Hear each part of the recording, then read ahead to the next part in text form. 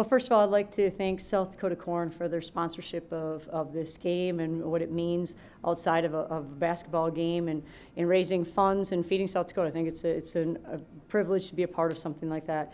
Secondly, I'd like to thank our fans. I thought this was a, an opportunity for us to play in front of a, a great fan base and a lot of them were wearing red. Not all of them, but it was there were a lot of uh, Coyote fans who were here. Our students were incredible. I think our student section got the place really going before the game even started.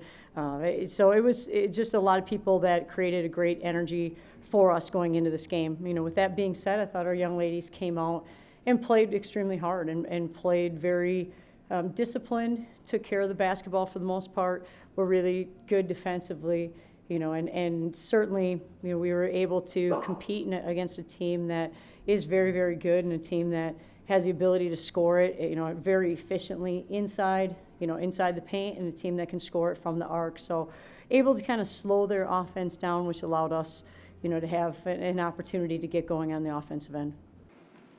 What was the plan for attacking their defense? Well, ideally, we were trying to do what we do, which is run a motion offense and get the ball inside in different ways, or attack from the perimeter, or penetrate and with pass penetration, dribble penetration, and shoot it, you know, kick it out, and then offensive rebound. So not like it was anything different really for us, but we were trying to be in an attack mode the entire time. You talk a lot about this team's experience and the attitude. Was there a difference in the way that they prepared for this game than it was in years past? Anything that stood out to you? Well, I think that they they're um, more attentive to how to slow teams down. I think our desire to be a, a really good defensive team and our ability to do it both have grown over the course of time, and certainly I think that's what gave us an opportunity in this game. Or how big was Madison's three to start that game? Because, you know, crowd rocking, she hits a three, and that, I mean, I don't want to say it's loudest it was the whole game. That was that, that crowd erupted right there, and just seemed like that really sparked a lot. I thought Madison McKeever played an incredible basketball game. You know, she started obviously by getting an inside out three from Hannah kicked it out and Maddie hit it and it was a great score opportunity. Then she got one in transition pretty quickly after that and scored it at the rim. But I thought defensively, Madison McKeever played a, a very, very good basketball game and, and really helped us on the court when she was there. And when she wasn't on the court, we kind of felt that we missed her on the defensive end. Defensively, really seemed to take away their post. Hannah and, and, and Taylor seemed to really, as Aaron said, beat them to spots and really play physical when they're at those spots, not allow the ball to really, any opportunities inside really. Well, I thought it was a, it was a game that was physical down low, and yet you know both teams are playing that way. I thought it was kind of an anomaly. I don't know how many games we've played in, or South Dakota State has played in, or how many games in the Summit League probably have. I think there were combined two fouls called in the first quarter. So I thought both teams really trying to attack, space the floor, get the ball inside, you know, but also trying to do it without fouling each other. With this group at this point in the season, is it more just you're looking to tweak things versus one area specifically you're looking to improve upon, or are there areas that you're still looking to improve specifically? Well, we either go back and we'll watch every game as a coaching staff and put together kind of our, our ways that we think we need to continue to improve and how that applies to our next opponent. And so it, it's a matter of continuing to tweak us, our defense, our offense, some looks that we want to get. How do we do a better job? Whether it's taking care of the ball, rebounding, why are they getting some of those scenarios? So it is a matter of we've got to continue to get better. It, yes, it's a it's we played well, we did, and and that for that our players, you know, de- deserve a lot of credit for how hard they competed and how hard they played. But at the same time, it's one basketball game. We have a lot of season, a lot of conference season left to play, and and so it's it's an opportunity for us to look at it and yes, maybe gain some confidence, but also continue to get better. Talking, talking to the players afterwards, they were a little, they said they didn't really look at the score much. You really had to focus on each possession.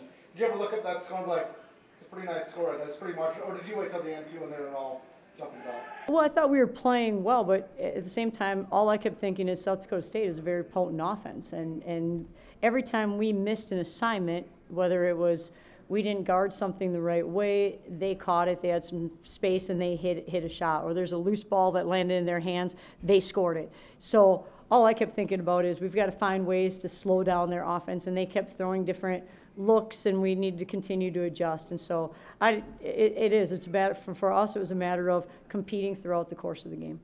I know this will obviously be different the next time. Every game will be different, and there's always that specter of a possible third one. But is it nice for this group to come out and really kind of set a tone and maybe for the, hopefully in your case for the series this year, punch in the mouth, being a veteran team expected to win, and against a younger team like that to kind of set a tone hopefully for the rest of the season? Well, I thought what our young ladies did a good job of is, you know, the, the game was up in the air, you know, so we, we left um, Fargo on Thursday night. We weren't planning on leaving and driving and getting in late. We got in late. We're getting ready to prep on Friday because it's a Saturday game, you know, and then as we're in film, we still don't exactly know what the status of the game is going to be. And I thought, thought our, our young ladies did a great job of just kind of approaching it with a very, you know, even keel. You know, that we didn't really know what to expect, but at the same time, we knew- knew we needed to be prepared. And so I thought they've just attacked this with, you know, with the, the uh, understanding that the process is really important for us, and, and I thought that's how they played the game. When did you find out Friday that the game had been postponed, and then how did you use Saturday to prepare? Right, well, Friday we found out probably when we were, probably mid-afternoon when we were finished with film, when the game was going to be, and then really had kind of tweak a little bit of the practice plan and um, didn't do, really do a whole lot on Friday after getting back late and then, and playing the night before. Did a little bit um, to get us moving again and kind of work the kinks out and go through some technical sides of things offensively and defensively for us. And then Saturday got after it and, and really tried to prep us uh, aggressively for a very good South Dakota State team. You mentioned after that North Dakota State team, the teams have been throwing some different defensive looks at you, that sort of thing, adjusting. Did you see a lot of that today from South Dakota State? Well, I thought what they were trying to do is, uh, again, be physical with us inside, not allow us to catch it, you know, on the block very easily.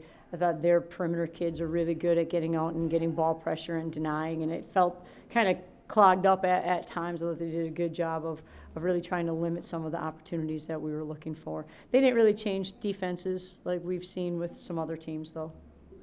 They only shot seventeen percent from the three, meanwhile you guys shot fifty percent. Was that a major difference in this one, just the ability to shoot the ball from deep?